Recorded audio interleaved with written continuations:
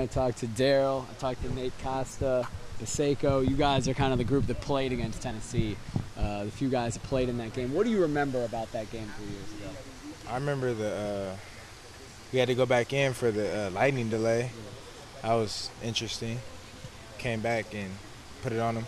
Yeah. What was, what was that like? It did it change the game. It seemed Yeah. like because they were they scored I think on their first possession, right? Uh huh. Yeah, it, we got we got a chance to get back in the locker room and make some adjustments, and it helped. So it worked to our advantage. You guys ever have you ever been part of a lightning delay before? Not not before that, no. Yeah, obviously not since. but it doesn't really happen. You know, it rains here. Yeah. lightning. Um, anything you can take from that game, playing against Tennessee, that, that will help you prepare for this week? It's a long time ago, obviously. Um, just knowing that they have great athletes, they they breed great athletes in the South. So I mean, just knowing that they have a lot of great athletes, different coaches, so it's not going to be the same system and not anything like that. So I mean, uh, not not much to take from it, but other than knowing their personnel. Yeah. Is there, you mentioned great athletes in the South. They're an SEC team, obviously. For the fans, um, Oregon fans might take some pride in beating an SEC team. Past two times, Auburn and LSU.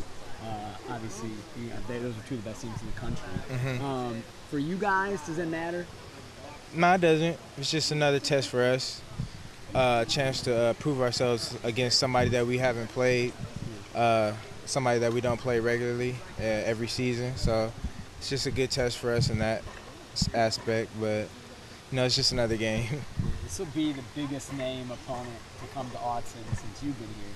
Mhm. Do you like having these type of games, playing a team like a Tennessee that has kind of some national record? Yeah, I don't know, kind of. Just, just- I don't know. You know, it has has some power nationally. Yeah, it, it's definitely fun. I mean, I, I love to play the best. I want to. I want to play the best. I want to compete against the best players. Uh, so if they're the best players and I want to play against them, then it's a good test for us. Having them at home though, is that is it nice to get get a game like this in Autzen?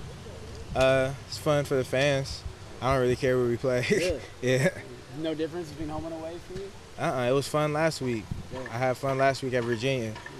And getting that an away crowd is it's, it's something about an away crowd that I really like to play in. Speaking of away crowds, what do you remember about Tennessee's crowd? It's a huge stadium. That's right? probably one of the, the best atmospheres I've ever played in, other than Autzen Stadium. But uh, it's re- it was real loud. Uh, the, the crowd definitely uh, lets you have it, and it's, it's, it's fun. It's a fun atmosphere to be around, especially at nighttime. Yeah, you get sick of Rocky Top. by the Yeah. end of that game. I hear you guys are playing that song in practice, but you're not gonna hear it Mhm. uh, obviously during the game. Nuh-uh. The band's not coming. So what, what, what is? Does that just kind of put you in the mindset of playing against this team?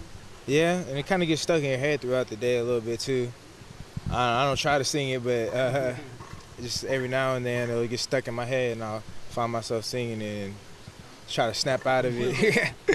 What stands out to you about this Tennessee team?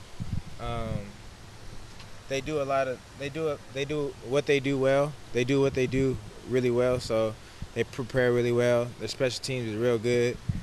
Uh, that's something that that's something that probably a lot of people don't, don't really take into account. But their special teams are real good, so we're gonna have to play really well on special teams to beat them.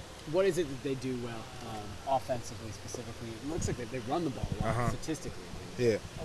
Um, they just they they uh they try to get you out of, uh, caught out of position a lot of times. Uh, make sure your eyes are right. So if you're not reading your keys, it's gonna be a bad game for you.